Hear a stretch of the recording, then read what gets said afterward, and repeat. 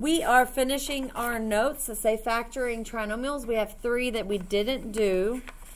So we are going to start here. x squared minus 16.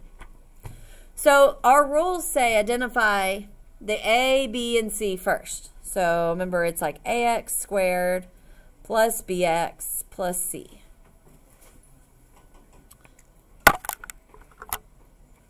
So if you look at this one, we don't have a middle term. We don't have that b value. So we need to rewrite it so it does have a b value. This is the a, this is the c, because there's no bx. So if there is no b value, that means I can write 0x minus 16. Because I need to have an a, b, and c so I can do the x box. If there is no bx, then it's a 0x. So this is A, this is B, this is C. Draw your X, draw your box.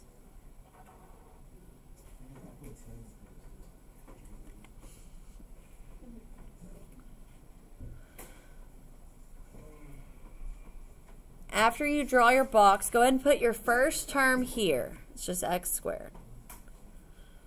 And your last term in the bottom right.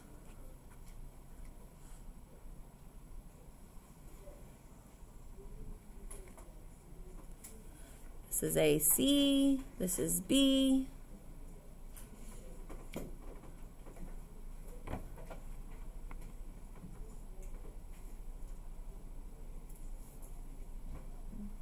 AC would be 1 times negative 16, which gives us negative 16, and B is 0. So we do the X games where we figure out what multiplies to get negative 16, but adds to get 0. So I'm going to put it in. y equals negative 16 divided by x. If you don't have a calculator, go grab it now.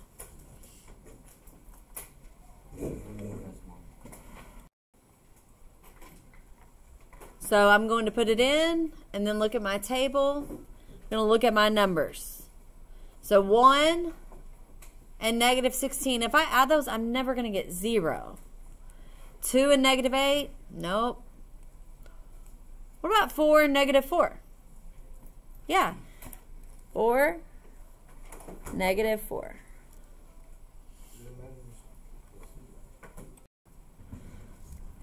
So we're going to put them here. These don't matter the order that you put them. You just put them, put one in one and the other one in the other one.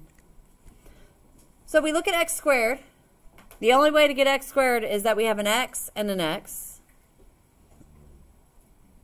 Then we look and see what needs to go in this spot in order to get negative 4x. Remember, we're multiplying. So what times x is going to give us negative 4x? Negative 4. Then what times x is going to give me 4x? 4. So our factors are x minus 4 and x plus 4.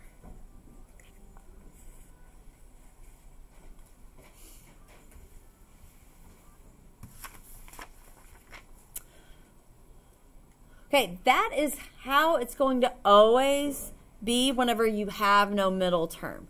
They'll be the same binomials except one is positive and one is negative. And the way you find out what the number is, is you look at what is the square root of 16?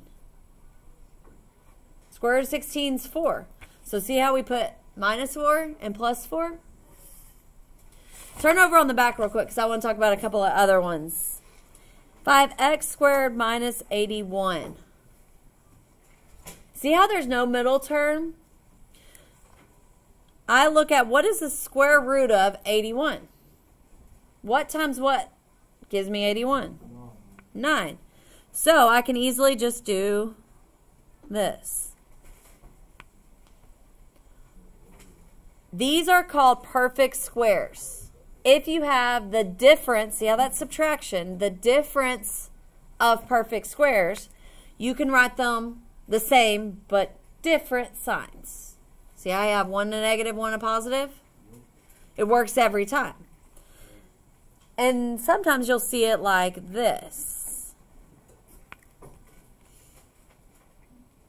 These are these are also called perfect squares.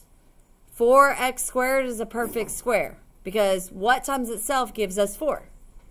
2. So this would be 2x. What times itself gives you 49? 7. So one of them will be plus 7, one of them will be minus 7. These are the difference of perfect squares because it's subtraction of two perfect squares. But you can always do x box if you don't want to memorize this or remember this. This is a shortcut for us that we can use, but we don't have to. All right, let's go back to our problems.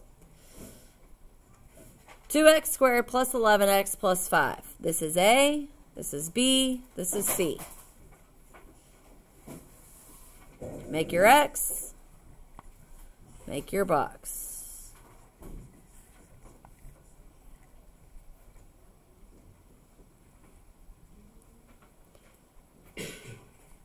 First term, last term.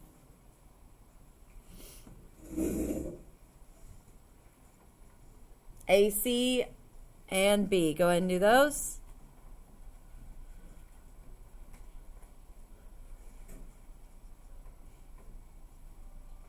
A times C, 2 times 5 is 10. B is 11.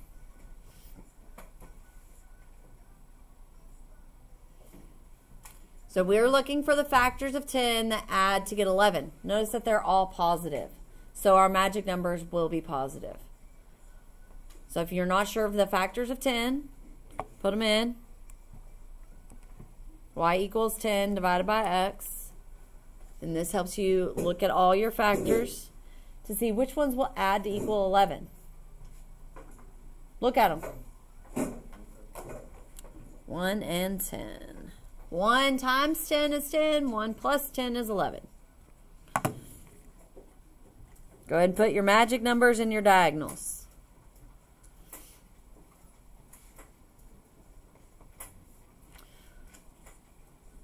Okay, so to get 2x squared in this first box, I've got to figure out what I'm multiplying together to get 2x squared. So I know they're both x's, but one of them is going to have to be something different in order to make it 2x squared. We got to figure out which one. Look at this column, 2x squared and 1x. Can they both be divided evenly by a number? 2x squared and 1x. But what about 2x squared and 10x? Yeah, what can divide both of those evenly? 2. 2 is your GCF, your greatest common factor of 2 and 10. So you would double check. x times 2x, is that 2x squared? Yeah. Then you're going to do the same thing here. 2x times what is going to give me 10x? 2 times what will give me 10? 5. So this is why knowing your multi multiplication facts is really important because it makes this easier. Okay, then we look out here. 1 times x is 1x. So that's going to be 1. Then you check your last box. 1 times 5 is 5. So that means you did it correctly. As long as everything, whenever you multiply it back together, gives you what's inside that box. Everything's positive here, so everything's positive.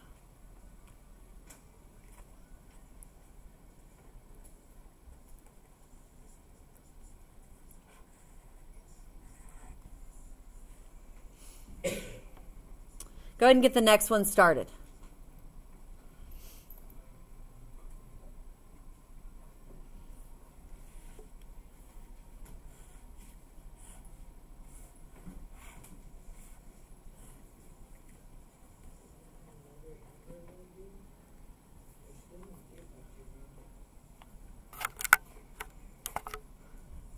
What times what? So it's A times C is 23.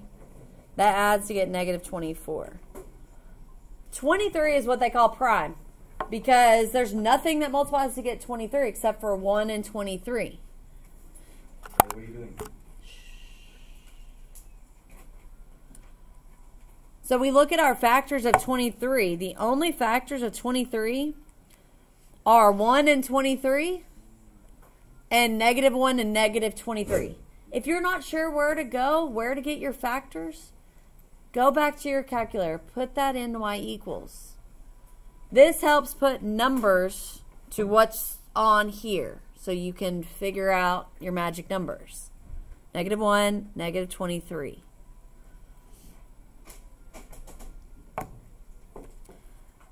Let's fill out our box.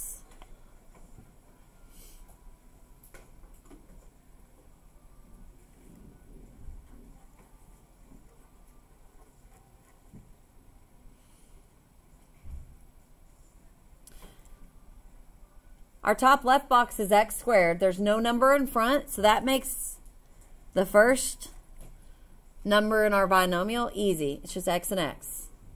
Then you look, x times what is going to give you negative 23x? Negative 23. And then what times x is going to give us negative 1x? Negative 1. And when your magic numbers are negative, what you factor out will also be negative. So just pay attention to that.